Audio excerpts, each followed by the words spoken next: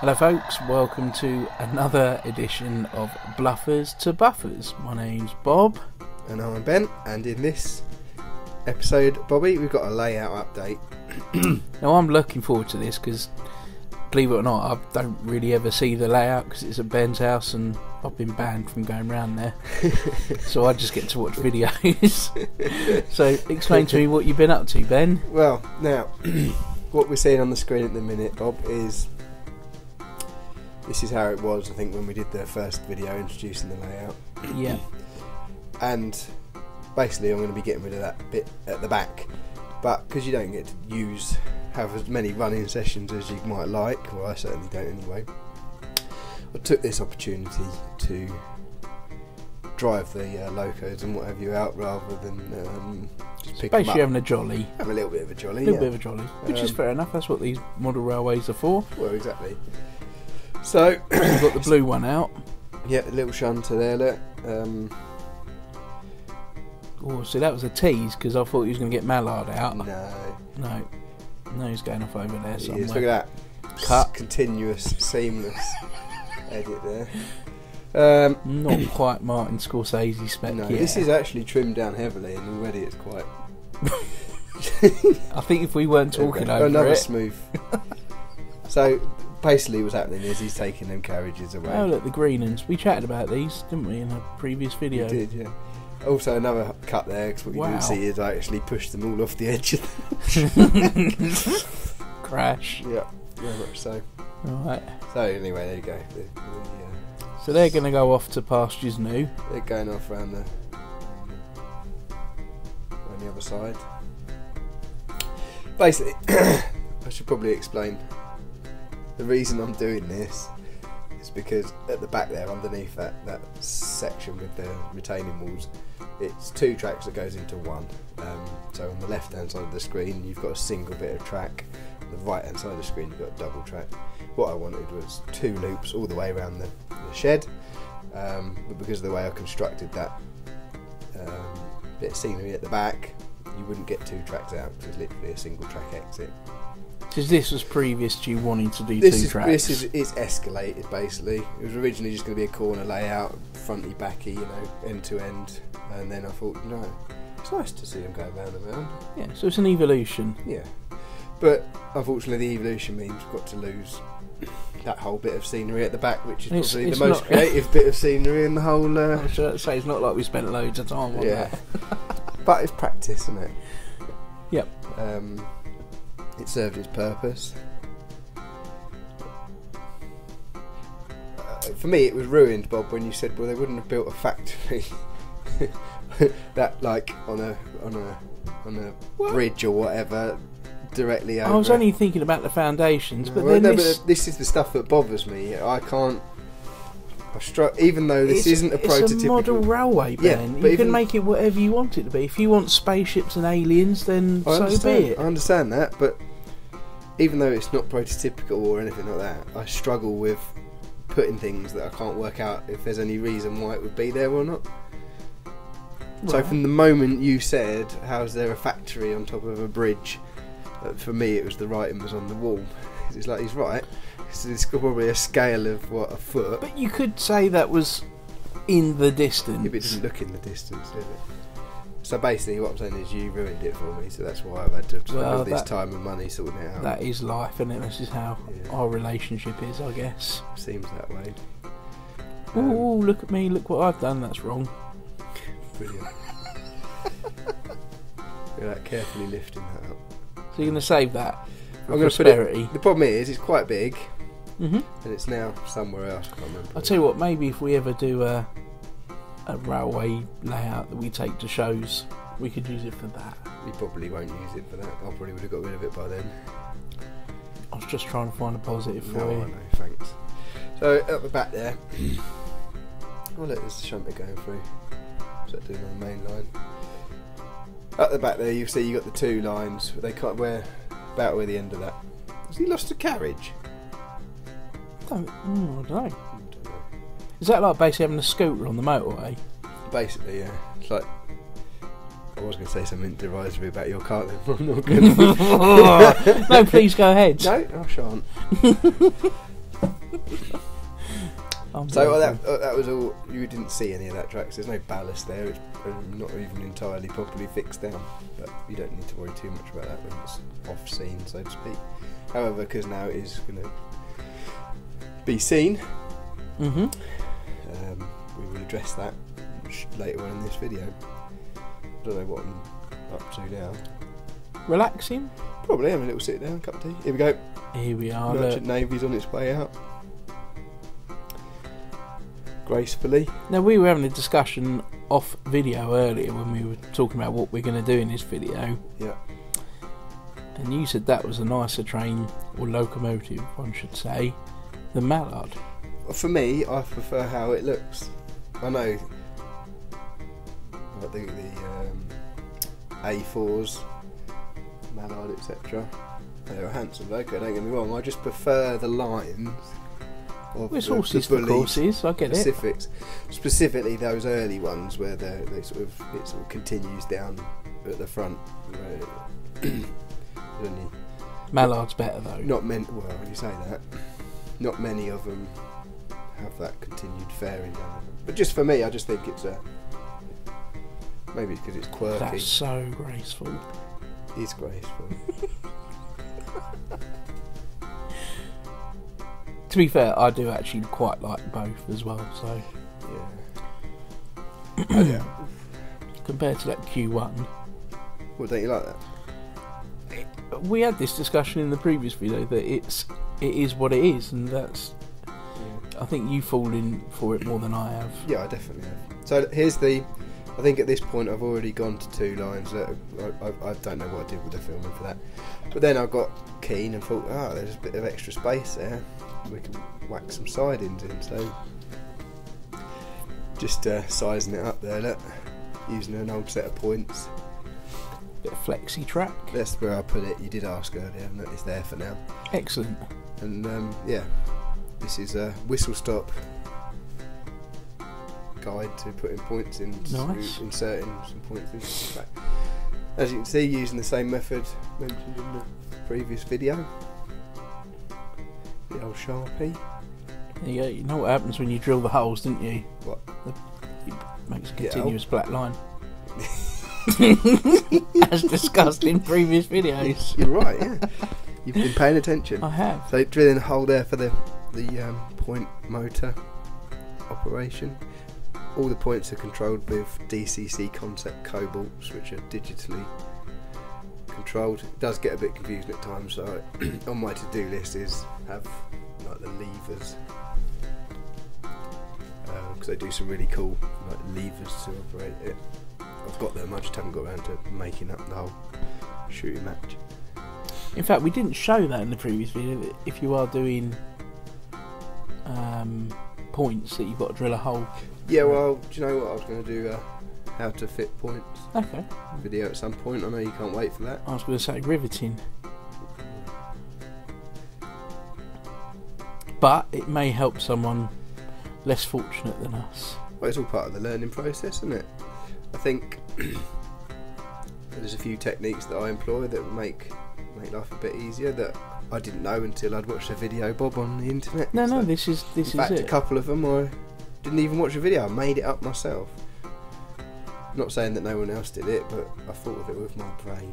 You are a clever lad, though, aren't you? Sometimes. That's all I want. Literally, all of this is just to get your approval. We, we don't need to do any more oh, now. oh, brilliant. well, thanks very much for watching. So there we go. There. One set of points. Or turnout. I don't know. I think they're supposed to be called turnouts. I don't know. Anyway, one set of them yep. into the track. Tried it with a loco. Didn't work first time. Here she goes again. After I fixed the problem. Mint. What was the problem? Can't remember. Didn't work. Okay. So uh, chopping out a bit of that scenery. I'd only used some foam with some plaster cloth over the top, so it modifies easy. Here we go. Just it's a, the idea was it's going to be a storage siding, so proximity to the main line's not that much of an issue. Um, but obviously, you saw there, I double checked that we're going to have the room. That's what they say, isn't it? What? Double check to make sure you got the room. Measure three times. Oh, that cut classic saying. three. So, and at the end there, I'm not sure yet whether I'm going to put another set of points so you can have a little stabling for a shunter or not to bother. Because uh, I started making that tin hut thing that was supposed to be abandoned, so it might get used, it might not. The big, a big issue I have with this whole thing, I'm so easily distracted. I, I go up there and think, "Do you know what, I'm going to do this today Yeah. And nine times out of ten I've got tidy up from all the mess I left from the last time I was in there. And I pick something up and I think, ooh.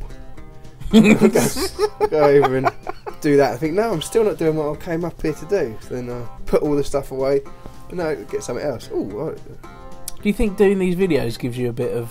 it's, it helped a bit because I kind of think now, well, this is what I want to achieve for this video. But even then, there's a lot of procrastinating.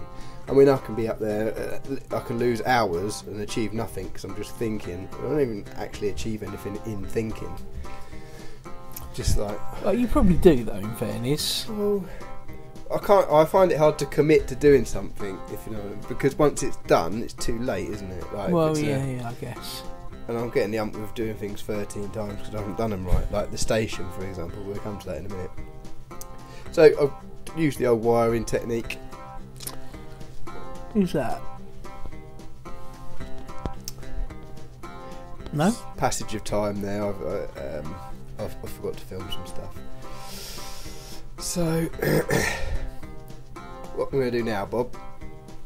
Yep. I just realised I did something I was not supposed Yeah. to do, didn't I? Sorry. What I'm going to do now is uh, just a quick way of getting a bit of weathering on the tracks. Just give them a dusting over with brown paint. I'm just using Humbrol, Humbrol brown acrylic. Dries quickly. Yeah. And as if by magic, we're now ready to lay some ballast. How do you clean the track? Because obviously you put paint on it now. I've got like a uh, basically a, a, a block, like a Little sanding block. yeah, kind of. Oh, Basically, right. it's a Gaugemaster track cleaning block. You just run it over the top of the rails. I suppose it's only got a dusting, isn't it? Yeah, yeah. But the point is, you get some you get some brown paint on there. It's half weathered. The only problem is now we've skipped straight to ballasting this backtrack, and you can see I'm brushing the hypnotically brushing the ballast into the sleepers. But the acrylic paint then scratches off quite easy. We go over and dust again then. Also, what I will eventually do is get the airbrush on there and weather it in Ah, properly. But you, nice. but in doing it with the aerosol, you have got that dirty colour on the side of the rails, which is a good start. If you know what I mean. It's these little things that kind of make it, though, isn't it? It runs, I mean, shiny track everywhere. Yeah. I mean, I will get on there and give it a real good weathering because the same with everything else. It's going to be um, downtrodden. Is that the word I'm looking for? Not very Yeah. well maintained. Yeah. Grimy. Real grimy. Yeah. It's, do you know what? I prefer watching this than doing it. This is sped up, though. You know that, didn't you? Yeah, I'm aware of that. I sped it up. but it's just, I don't know. And ballast. From what I can see when you go online, Mm. there's lots of types of colour, size, blah blah blah. Is there a particular favourite that you've got? Um, I'm really liking what I'm using there is from Goodwood Scenics. Um, I, I, I just like it. I the Sounds like a quality product. it's good, yeah. The I mean there you'll get people who say that the 00 gauge or double O gauge ballast, medium ballast, whatever you want to call it, is too big for 00 gauge if you're being prototypical. And some of the really like nice layouts they use the N gauge stuff because it's smaller and finer. I don't have a problem with how it looks, to be honest. I, I, I think it looks alright. Maybe Mm. that's not how it should look in real life, but it, it looks good, so I'm happy with that. Same old rules, isn't it? Your layout, your rules, or whatever they say.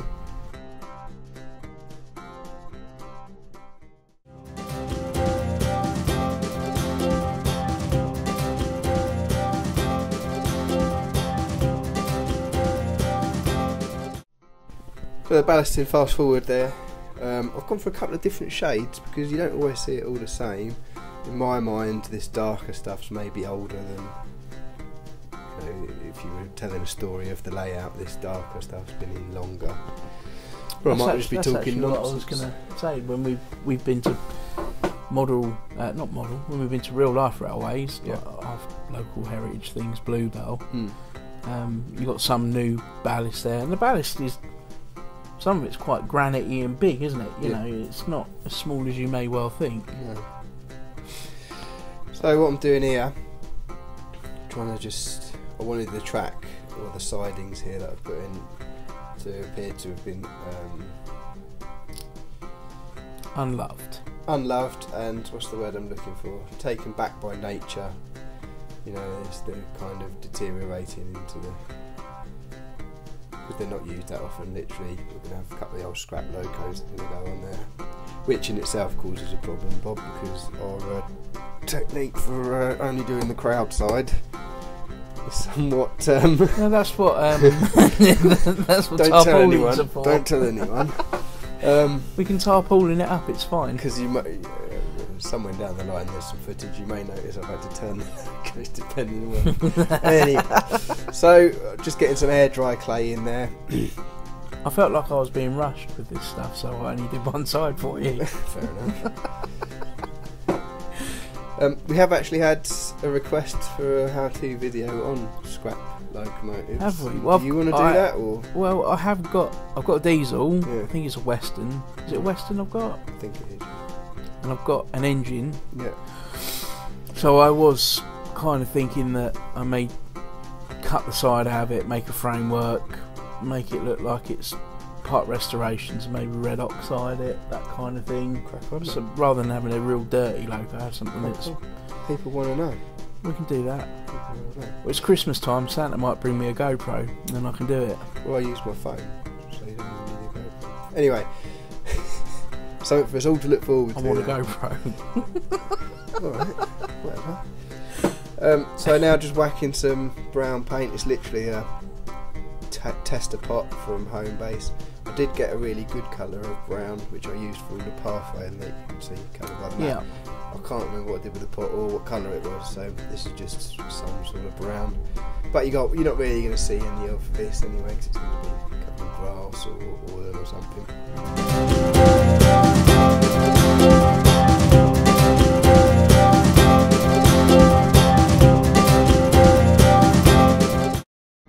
And again, what I've done is forgotten to film some other bits, but at this point, a lot of the clay has, and the paint, the brown paint seen, has got some green and black and what have you scatter on there, uh, which is you, you know that green stuff, fine Yeah. stuff.